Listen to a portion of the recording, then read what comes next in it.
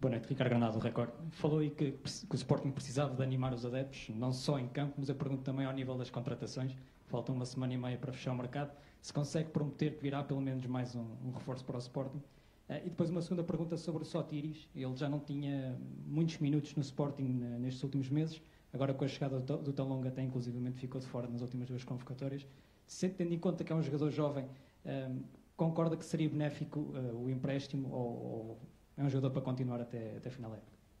Ele tem a limitação também, o Sotiras tem a limitação de já ter jogado por um clube, este é o segundo.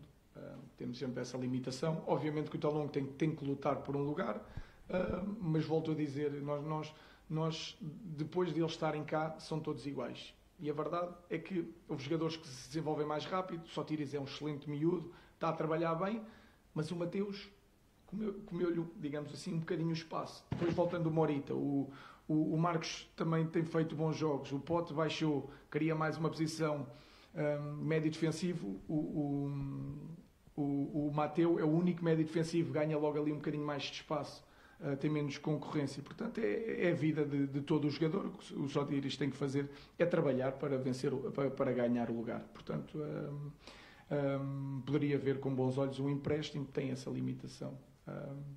Vamos ver. Em relação às contratações, não há muito, não há muito a falar. Eu não posso prometer nada, eh, posso prometer apenas que, que estamos atentos, que queremos eh, fazer as coisas bem, mas não podemos fazer as coisas à, à pressa porque não temos essa capacidade. Temos que fazer com tempo, a pensar não só agora, mas no futuro. Uh, portanto, temos que resolver os problemas com os jogadores que temos. Eles podem ser muito melhores, já o provaram e, portanto, hoje ganhamos. Uh, agora é tentar vencer o próximo.